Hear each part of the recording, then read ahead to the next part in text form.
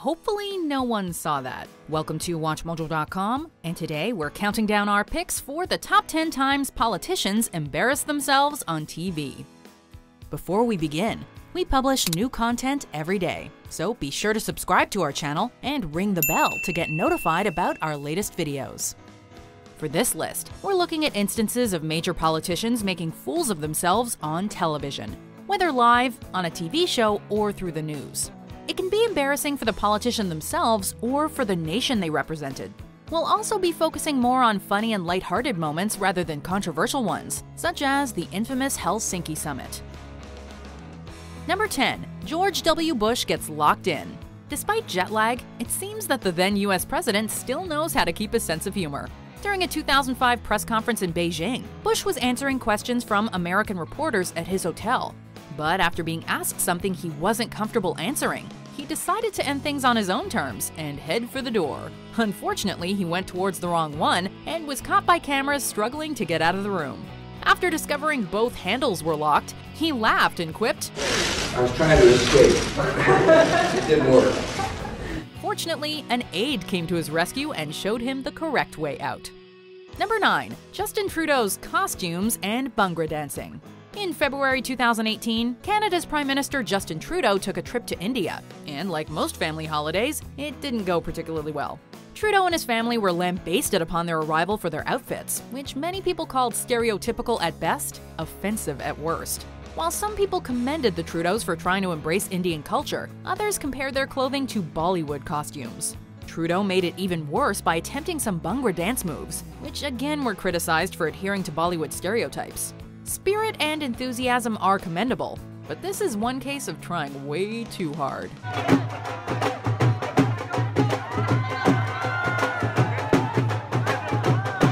Number 8. Alabama has always been a place of equality.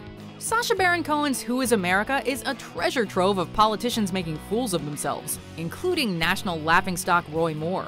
Unsurprisingly, Baron Cohen attempted to embarrass Moore with pedophile jokes, but Moore saw right through it and shut him down. It's just Alabama has always been a state that valued freedom, valued uh, liberty, Of course. and uh, appreciated what people went through to get it. And I think that uh, Alabama has always been a place for equality. it has. However, Moore still found a way to make a fool of himself by proudly declaring that Alabama has always been a place that values freedom and equality. When Baron Cohen goes for the jugular and asks if people have always been free in Alabama regardless of race, Moore declares that it's, quote, part of their heritage. Well, it's, it's part of our heritage. If we actually research their heritage, we can see that in 1860, 45% of Alabama's population were enslaved African Americans. Number 7. Mitt Romney has binders full of women. This is a case of good intentions ruined by awful execution.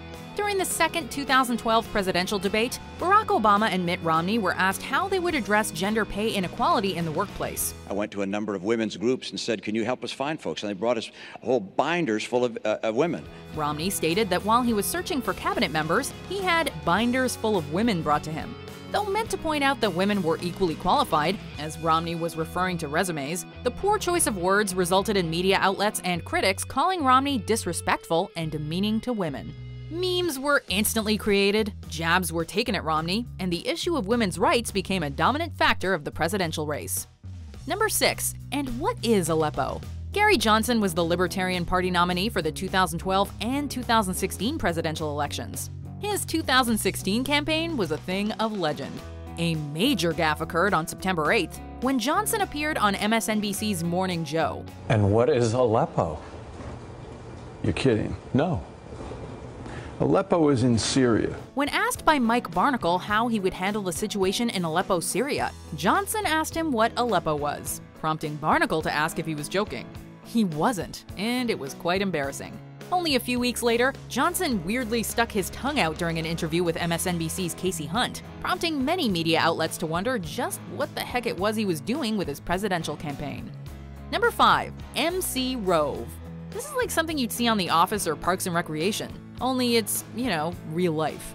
In 2007, former White House Deputy Chief of Staff and Senior Presidential Advisor Karl Rove did a little dance at the Radio and Television Correspondents Association dinner, and it was mortifying.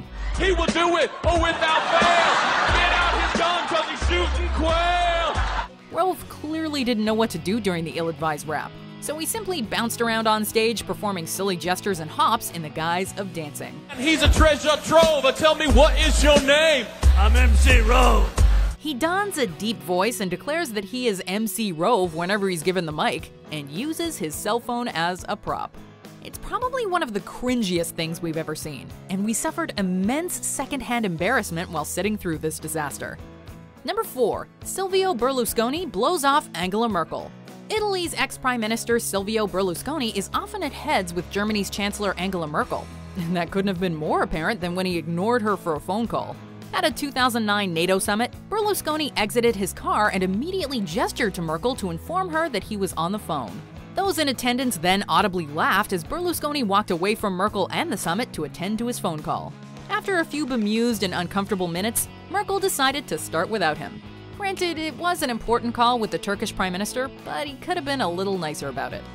Number 3. The Suppository of All Wisdom.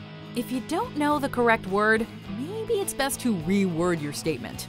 No one, however smart, however well educated, however experienced, is the suppository of all wisdom. In August 2013, Australia's Liberal Party leader Tony Abbott told a Liberal event that no one, quote, is the suppository of all wisdom. He meant to say repository, meaning a place of safe storage, but instead used the word for a medicated substance that is usually inserted into the vagina or rectum. The audience giggled at his gaffe, and hashtag suppository began trending on social media in Australia. Sure, we've all had our slips of the tongue, but not in front of a national audience. Luckily, it didn't matter in the end, as Abbott was elected prime minister just one month later. Number 2. Trump throwing paper towels. It's not a good sign when Trump playfully throwing paper towels in the aftermath of a natural disaster is one of his least controversial moments. An really an like his failure to pronounce anonymous, this is embarrassing without being too malicious to any one person in particular. While visiting Puerto Rico in the aftermath of Hurricane Maria in 2017, Trump decided to have some fun by tossing paper towels like a basketball into the crowd of relief workers and survivors.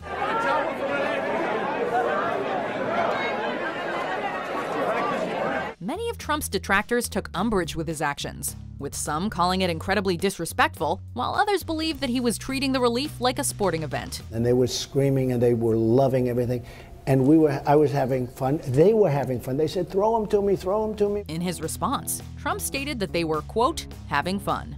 Before we unveil our number one pick, here are some honorable mentions. And then we're going to Washington, D.C. to take back the White House! Yeah! I don't know. A proof is a proof. What kind of a proof? It's a proof. A proof is a proof. Number one, the Palin Couric interview. And we thought being interviewed in front of a turkey massacre was bad. Perhaps no TV appearance has been as disastrous for a politician as the Sarah Palin Katie Couric interview. As Putin rears his head and, and uh, comes into the airspace of the United States of America, where, where do they go? It, it's Alaska. It's just right over the border. During the 2008 presidential race, vice presidential nominee Sarah Palin sat for interviews with Couric of CBS Evening News. And they were an unmitigated disaster. Um, car- I don't know, you know, reporters. Mocked. Yeah, mocked, I guess that's the word, yeah. Um, Palin was lambasted by the media for her ridiculous answers, unclear positions, and incoherent rambling. She was viciously parodied by Tina Fey on Saturday Night Live, who reiterated some of Palin's answers verbatim, and public opinion swiftly turned on the McCain Palin campaign. We shouldn't second guess is Israel's security efforts because we cannot ever afford to send a message that we would allow a second Holocaust, for one. She became a national laughingstock, and they all but ruined her reputation and political career. Do you agree with our picks? Check out these other great clips from WatchMojo, and be sure to subscribe and ring the bell to be notified about our latest videos.